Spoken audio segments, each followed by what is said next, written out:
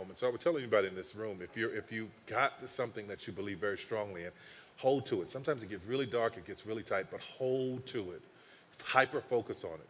One thing, focus on it really, really strong. I, I know these people who jump from idea to idea to idea to idea to idea, and it's like having a, a, a bucket of water and you're trying to water a, a full garden, and you're just taking all the water and you're spreading it all over a full garden when you don't have enough water. Whether if you took the water and just focused on that one plant and allowed it to grow so that it could give you the, the resources that you need to grow all the other plants around it. So, so that's, what I was, that's where I was with it for those, for those years.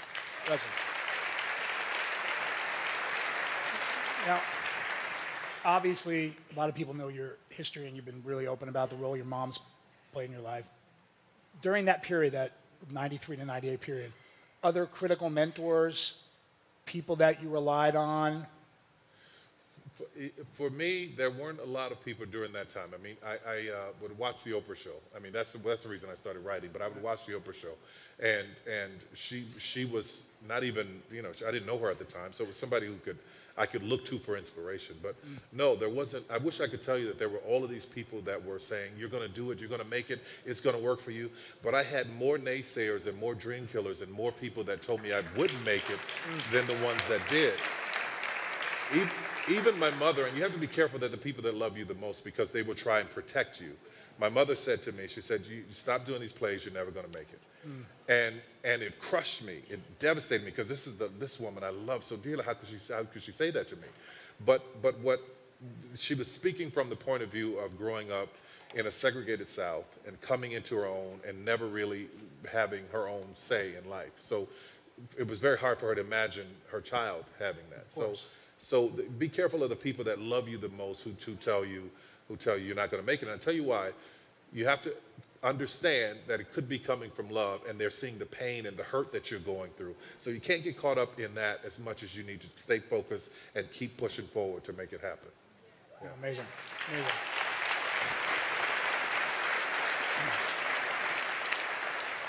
Now, okay, 98 happens, the yeah. breakthrough. I'm curious about one thing there that went through my mind.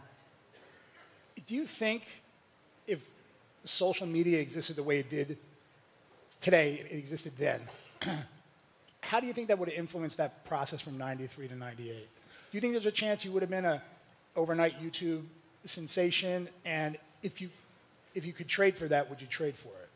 I, I tell you what I was doing though, because this was a time of email. So I, every night I go out on stage, I say, sign up for my mailing list. So I had my own email list of, of over millions, uh, over 2 million people at the time when I started doing the play. So I would start, when I, when I got after like 98, 99, 2000, get into those days. So yeah. I would send out emails and we'd sell out the show without any advertising. So I knew the power of it, right. of it then. But watching it now, I think it's too fragmented. It's too, it's too, um, it's a very powerful tool. It's really great, but it's, it's, it fragments the audience in so many places. It's hard to get the concentration. So if you can use it to concentrate the audience onto onto your product or to one thing, then that to galvanize around it, then that's that's powerful. So I don't know if it would have been as effective um, now if there had been like all then all we had was email. You have email, your mailing list, your website. Now you've got Facebook, Twitter, Snapchat, Instagram, your mamagram, your daddygram, the sistergram. I mean, every so there's there's yeah. it's so fragmented and hard to get the information concentrated. Is what I believe. Now, those five years where you're working through all this, they're obviously quite formative, right? People telling you you're going to fail. But I guess, I don't know other, my guess is you wouldn't trade any of that. No, no, absolutely not. Every bit of it was so perfect, so on point, so important because here's the thing that I realized. I thought I was failing, but what I was doing was being educated. I was, I was learning. I was learning all along the way. I was, I was, yeah. I said this to you, I said this to you backstage. It's like if, if I had, um, I, I paid for a Harvard education probably 50 times in the mistakes that I made or the things that I didn't yeah. know, you know. So, so that was the time to learn. Yeah. Okay, so now let's fast forward a little bit. So, producer, director, actor, how do you even think about how you deploy your time, your creativity, and across all those different roles? It's kind of inconceivable to them to the normal humans here? I, you know what? You know what happened in the beginning? I didn't have any money, so I learned how to do everything. So it's, I- again, it's back to necessity. Yeah, yeah. I learned how to do everything, but the problem became, now that you know how to do everything, you got to learn how to let some of this go. So, so the, the the janitor in the corner when I'm walking through the studio, I'm like, you're not going to tell me how to mop this floor because I know which solution Yeah. that goes in because I've done that job. So I think it's just very important to be able to know all of the jobs and know what everybody's doing, be aware of it, and then you can you can uh, make the choices of what can be delegated. But for me, I, I, it's very important that you have a good team, and it's very hard to find a good team. I, I, I say this I say this in my book, um, and I've said this on stage.